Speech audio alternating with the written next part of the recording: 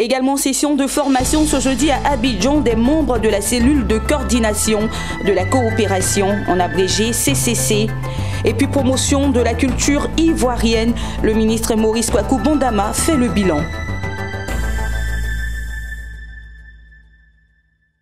Et voilà pour les titres. Bienvenue, Madame, Monsieur. Ce jeudi 19 décembre 2019 s'est tenue à Abidjan la cérémonie de lancement officiel de deux jours de session de renforcement de capacité 2019 des cadres de la cellule de coordination de la coopération Côte d'Ivoire Union européenne et des ministères techniques bénéficiaires des projets et programmes. Cette cérémonie s'est déroulée en présence du coordinateur national du dit projet. Le reportage de Pierre Tebeu et Augustin Kra. En organisant ces sessions de renforcement des capacités, la cellule de coordination de la coopération de la Côte d'Ivoire voudrait insister sur l'importance pour les acteurs nationaux bénéficiaires des projets et programmes financés par l'Union européenne de disposer des compétences visant à mieux cerner les enjeux des projets et à renforcer leur savoir-faire dans la mise en œuvre des différents projets.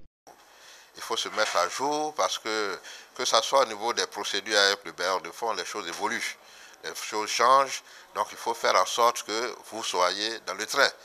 Il faut actualiser vos connaissances, il faut te mettre à niveau. Les organisateurs fondent beaucoup d'espoir sur ces ateliers, eu égard au thème choisi sur la compétitivité du secteur privé inscrit dans le plan national de développement PND. Et il est donc important que nous nous préparions, nous nous apprêtons pour pouvoir être compétitifs du bas, pour pouvoir tirer au mieux n'est-ce pas, l'essentiel de la coopération, n'est-ce pas, lorsque le nouvel accord sera mis en place. Les participants trouvent en cette session un moment idéal pour relancer le secteur privé à même de redonner un souffle nouveau à l'économie ivoirienne. Nous attendons beaucoup de cette formation. Elle concerne la compétitivité du secteur privé. Nous exerçons, nous exerçons pardon, dans le privé. Nous savons déjà que la compétitivité est la capacité pour une entreprise de pouvoir s'imposer sur le marché. Nous avons estimé qu'il était nécessaire euh, d'être à cette formation, avoir l'information, euh, parce que euh, nous avons cette vocation-là de mettre également à disposition l'information économique auprès des différentes entreprises. L'accord de Cotonou sur la coopération avec l'Union européenne s'achève le 19 février 2020. Vers un nouvel accord, il sera sans doute question du développement du secteur privé. Plusieurs autres thèmes seront également abordés dans les autres modules de formation. Dans le cadre de l'initiative La ceinture et la route, une journée sino-ivoirienne de l'investissement et du partenariat public-privé a vu le jour. Il s'agit à travers cette initiative de rendre plus étroits les liens en matière d'investissement, de partenariat public-privé entre les deux pays. La cérémonie de lancement de ce projet s'est tenue ce mardi 18 décembre 2019 dans la capitale économique de la Côte d'Ivoire. Marthe Congo et Ezekiel Seri nous en parlent. Trouver un plan de développement national ivoirien, établir un mécanisme de coopération efficace, améliorer la vie des Ivoiriens et accompagner le développement socio-économique de la Côte d'Ivoire. C'était entre autres les préoccupations de la journée signaux ivoirienne, de l'investissement et du partenariat public-privé. Tenu autour du thème La ceinture et la route, il s'agissait de trouver des perspectives d'investissement en Côte d'Ivoire, cela au regard du plan national de développement 2021-2024. La ceinture et la route est un vaste programme d'interconnexion entre la Chine et tous les États du monde. Ça la ceinture et la route engage la Chine dans une dynamique de solidarité vis-à-vis des autres États du tiers-monde, notamment euh, la Côte d'Ivoire. Donc la ceinture et la route euh, euh, renferment un ensemble de réalisations de projets infrastructurels, de projets culturels et de, euh, projets euh, d'intérêt commun. La partie chinoise a donc travaillé avec la partie ivoirienne à continuer de bien mettre en œuvre les acquis du sommet de Beijing du Forum sur la coopération Chine-Afrique. Pour mieux exploiter cette journée dans le cadre de la participation de la coopération économique et commerciale, mais aussi pour atteindre les domaines de l'électricité, de l'énergie et de la route, un vaste programme a été établi. Il y aura des échanges, des échanges pour surtout partager les expériences. Et par la suite, nous allons donner l'occasion aux jeunes entrepreneurs ivoiriens de se frotter à de grands entrepreneurs chinois pour s'enquérir de leur expérience et puis pourquoi pas pour, euh, pour envisager des pistes de collaboration. La Côte d'Ivoire ayant besoin d'investisseurs étrangers s'est tournée vers la Chine, deuxième puissance économique mondiale. Ces deux pays étant en collaboration depuis des années, cette journée vise à renforcer la politique du gagnant-gagnant en vue de promouvoir la synergie entre l'initiative de la ceinture et de la route. Un forum d'investissement dans les secteurs du café et du palmier à huile s'est ouvert ce mercredi à Abidjan. Initié par l'ONG Solidaridad, l'objectif de cette rencontre est de créer un cadre d'échange entre les PME porteuses de projets agricoles et les banques afin d'aboutir à des financements. Le reportage de Walter Kofi, Richard Akeke dans un récit d'Emmanuel Bonzo. Ce sont 14 PME spécialisées dans les filières cacao et palmier à huile qui ont présenté leur plan d'action à l'occasion d'un forum d'investissement ouvert ce mercredi à Abidjan. En effet, une rencontre entre coopératives et investisseurs a été initiée afin de créer des opportunités de financement de projets portés par ces entreprises. Une initiative de l'ONG Solidaridad qui, dans son rôle de facilitateur, a accompagné les structures agricoles dans la consolidation de leurs projets. Et ce forum, c'est pour euh, permettre à nos PME dans l'agriculture, que ce soit dans le cacao et dans le palmier, d'avoir accès au financement. C'est montrer aux investisseurs, aux microfinances, aux banques et institutions financières qu'il y a des PME capables et que ces PME, il faut les accompagner. Nous, Solidarité, nous avons fait un travail d'assistante technique avec ces PME.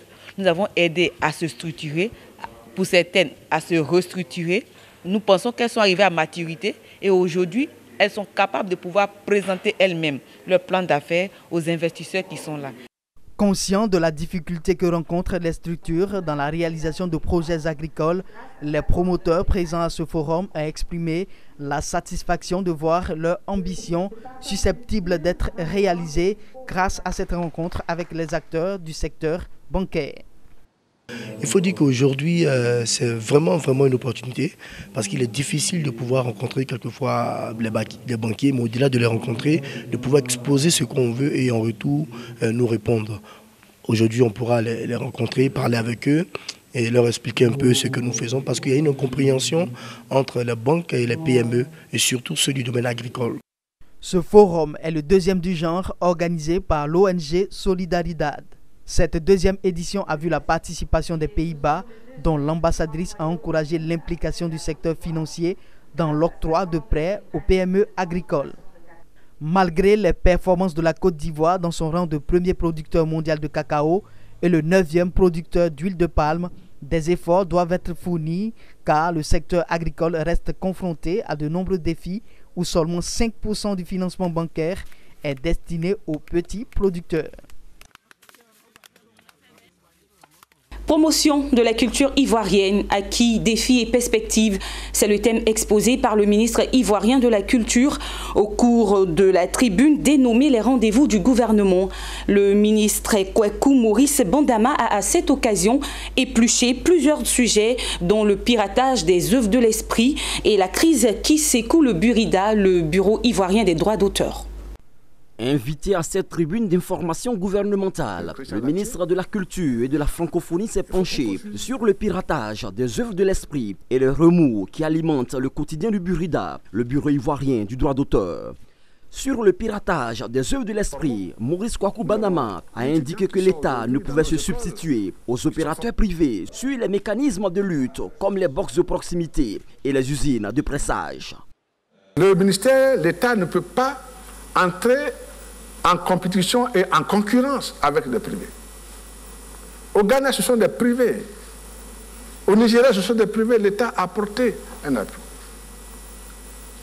Chez nous, malheureusement, les privés avec lesquels nous avons voulu porter ce projet, un moment, ou bien je changé d'avis, ou bien n'ont pas été opérationnels. Nous avançons de l'argent, et puis après, hein, nous sommes hein, seuls sur le projet. Mais nous n'avons pas abandonné, nous continuons.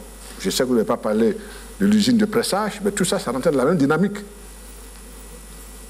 Nous souhaitions avoir des œuvres hein, de qualité euh, par une usine de pressage ici en Côte d'Ivoire, malheureusement, hein, avec l'opérateur ou le projet, la coopération n'a pas bien porté, mais nous n'avons pas baissé les bras.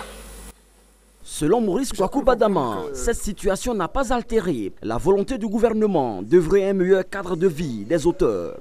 C'est pourquoi son département ministériel a entrepris des réformes dans la gestion du droit d'auteur face aux crises que connaît le Burida, des réformes qui ont produit des résultats.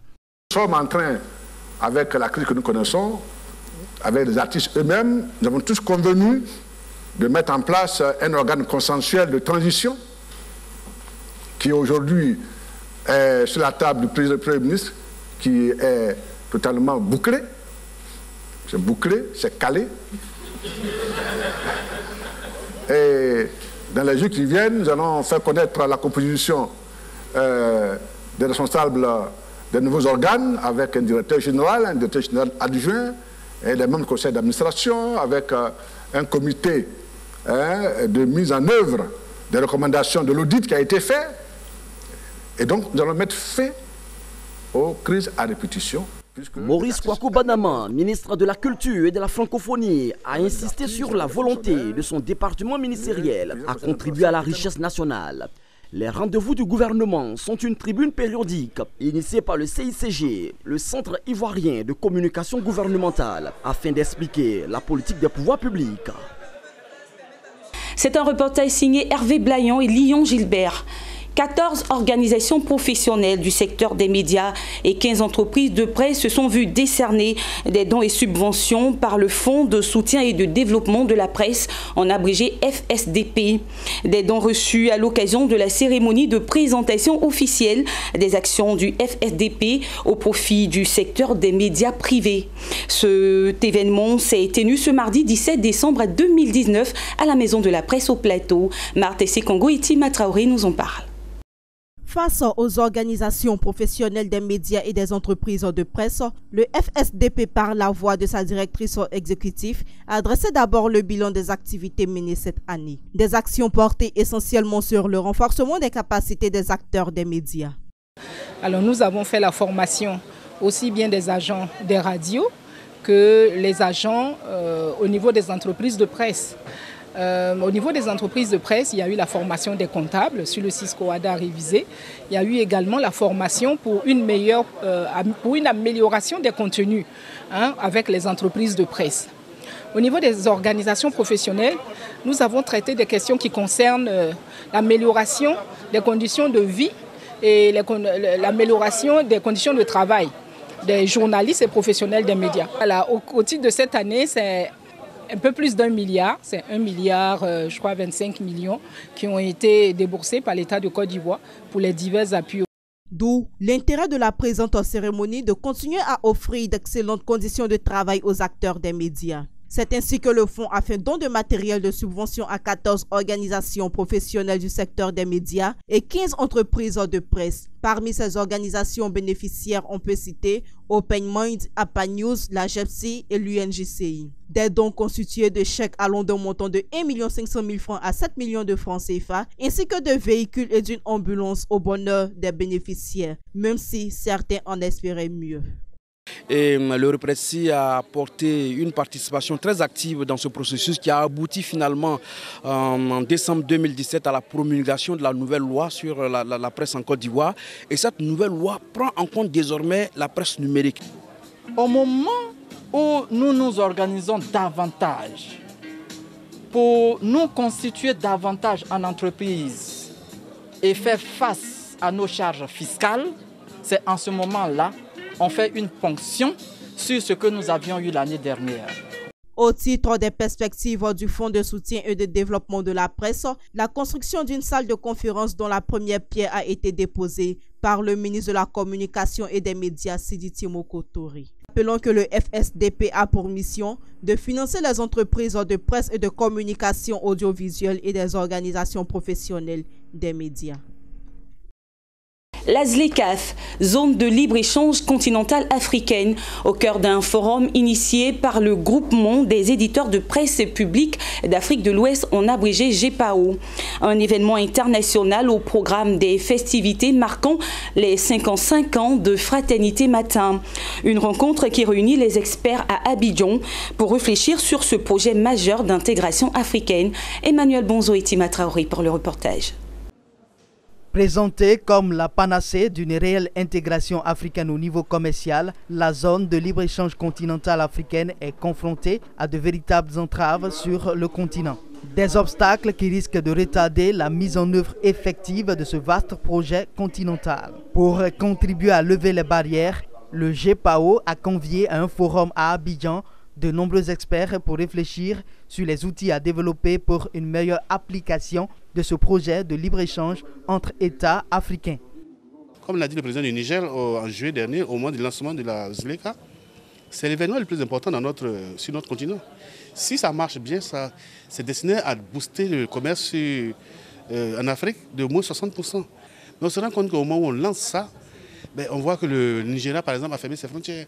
On voit qu'en Afrique du Sud, on chasse les étrangers. On voit qu'en Côte d'Ivoire, l'ivoirité, qui est une forme de xénophobie, est en train de, réapparaître. Donc il était important qu'on discute avec des spécialistes. Est-ce que, avec euh, ces, ces replis identitaires et autres, là, est-ce qu'on peut vraiment aller vers cette zone-là?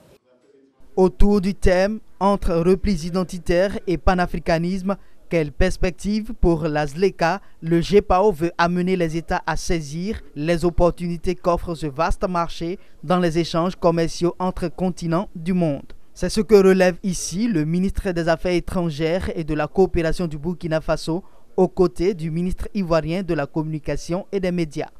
On doit noter qu'il y a une volonté très affichée de nos chefs d'État euh, y compris le président euh, Alassane Ouattara, y compris le président Roch Kaboré, y compris euh, le président du Niger.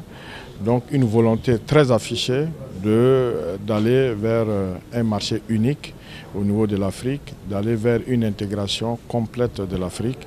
Seul, on peut avancer vite, mais quand on est ensemble, véritablement, on relève tous les challenges, tous les défis. Donc c'est véritablement l'objectif de la ZLECAF.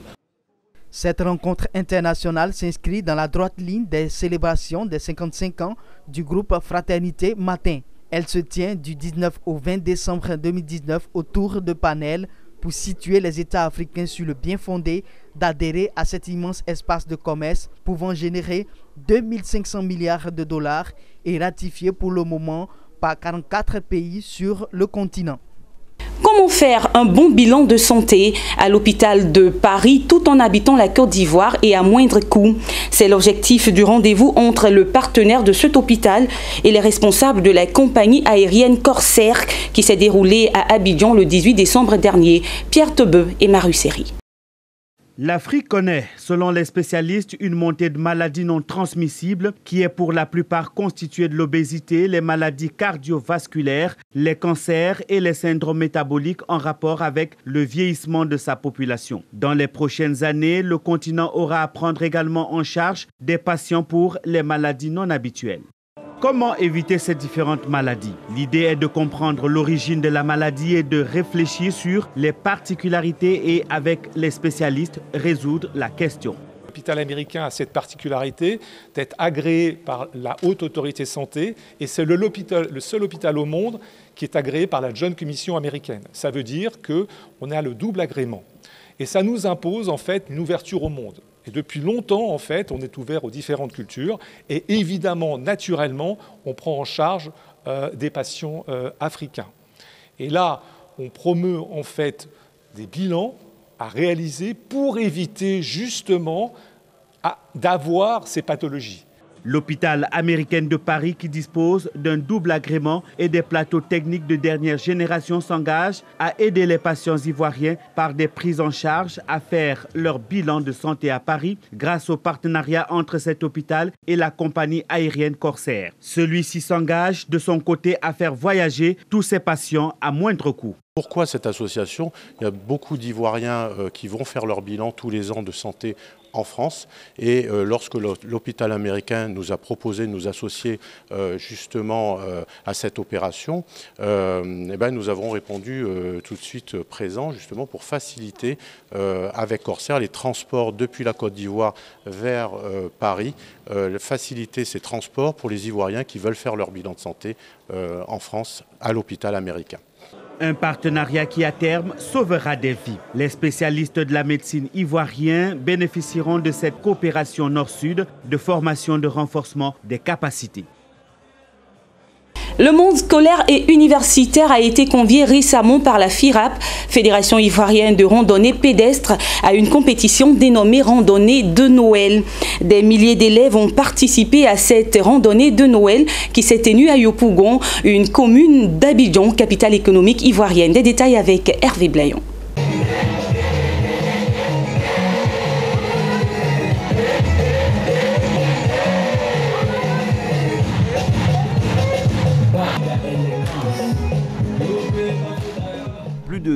18 000 élèves ont participé à la randonnée de Noël, une randonnée pédestre sur un parcours de 6 km 200 ainsi qu'une compétition de randonnée d'endurance.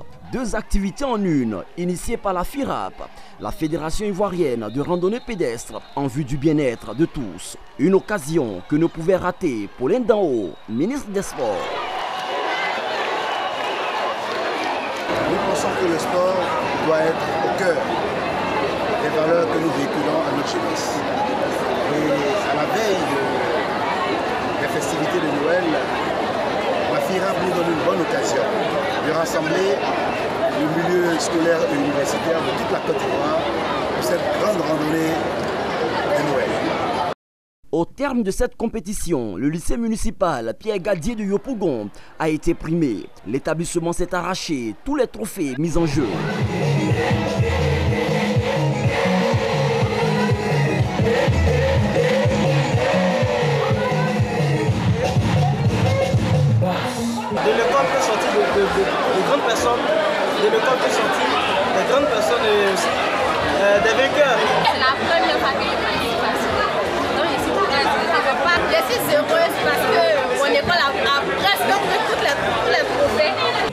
Présidente de la FIRAP, la randonnée d'endurance a connu un franc succès, tout comme la saison 2019 de la randonnée pédestre. Il était question d'une compétition de randonnée d'endurance a pu faire la compétition de la randonnée d'endurance. On avait au cours de l'année euh, 2019 55 activités à faire on a pu faire euh, plus de 60 activités. Les 55 activités, on a démontré, on a fait 60 activités. Il était question de, de faire une activité qui est pour nous euh, l'ouverture euh, et encore la clôture de notre activité, l'ouverture de l'activité de randonnée scolaire et la clôture de l'activité de la Fédération ivoirienne de randonnée pédestre. La généralisation de la pratique de la randonnée pédestre est en marche. Ainsi se referme notre journal préparé par l'ensemble de la rédaction. Merci de l'avoir suivi et puis à très bientôt. Au revoir.